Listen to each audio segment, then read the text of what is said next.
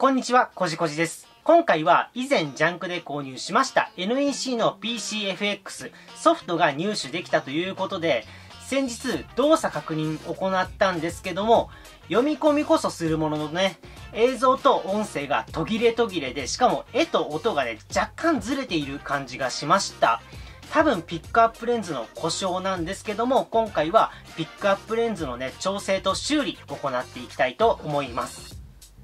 それでは PCFX のピックアップレンズ調節を行っていきます。こちらが正面、正面ですね。こちらが、はい、上部になります。この状態で、下に2本ネジがあるので、ネジを外します。ネジが2本外せましたら、これを下にスライドさせる感じで、このようにずらすと少し開きます。で、こちらが足にスライドさせて、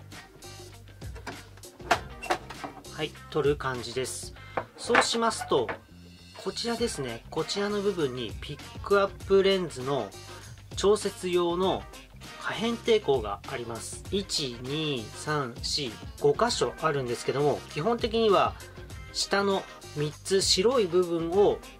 少しずつずらして調節するということです。ピックアップレンズの調節をする前に初期位置わかるようにね、印をつけておきます。印をこのようにね、つけました。これで元通りにね、戻すことができます。ピックアップレンズの調節を行う前に、前回のロード時間を見たいと思います。メニューに行くのも時間がかかったんですけども、メニューに行ってからもね、ディスクの種類を調べていますというね、ちょっとトンチンカンな状態です。そして電源投入後から1分50秒経過してやっとディスクの種類が分かったみたいです。ロードが終わったかと思いきや真っ黒の画面が10秒ぐらい続きスタートしました。それでは当てずっぽうにね、全体的に時計回りに少しずらします。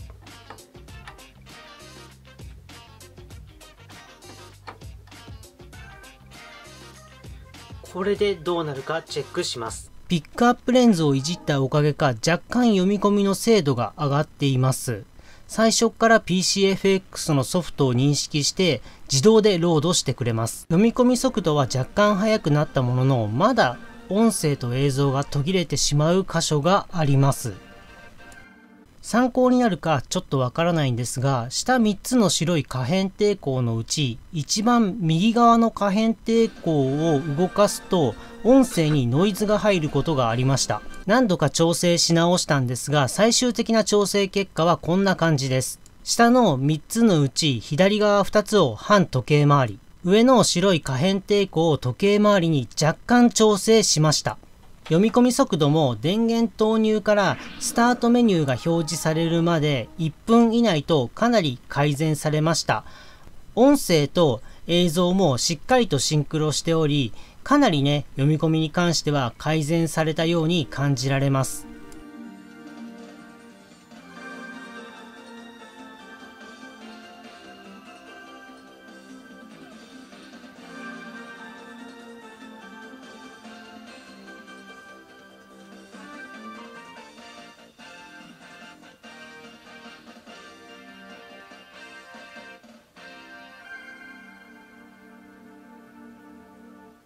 読み込み速度が改善され映像と音声がシンクロしているんですがそれでもそれでも音声がね途切れてしまうことがあります。なんかそれもねすごくいいところでね途切れてしまう気がします。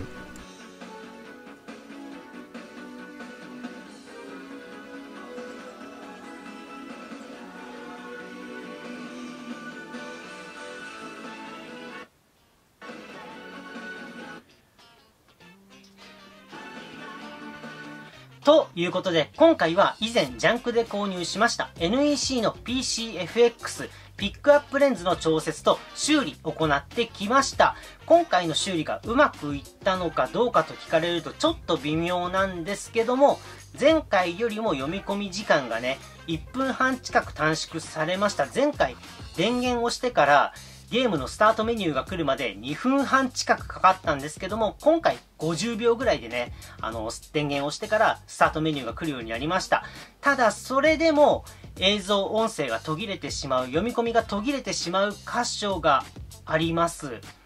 ただ僕の経験上こういったものはねあんまりやりすぎるとね壊してしまう可能性があるのでまあ妥協案としてこの辺ぐらいがねいいんじゃないかと思いますまあね、ちょっと中途半端な修理に終わっちゃったんですけども、読み込み時間的に、まあ普通のゲームとしてね、できるぐらいの読み込み時間になりましたし、途切れることもね、以前に比べるとね、ほとんどなくなったので、僕個人的には満足しています。最後までご視聴ありがとうございます。この動画が面白かった、参考になったという方は、チャンネル登録、高評価していただけると僕のモチベーションが上がります。まだね、動作確認していないアニメフリーク FX ボリューム2あるんですけども、これ動画でやろうかね、少し悩んでいます。前回の動画がね、視聴率良かったら、こちらもね、動画で動作確認したいと思います。で、先日の動画ちょっとね、アップロード時間がね、遅くなってしまったので、まだ見ていないという方いましたら、こちらにね、あるので、よかったら見ていってください。皆さん、また見てくださいね。バイバイ。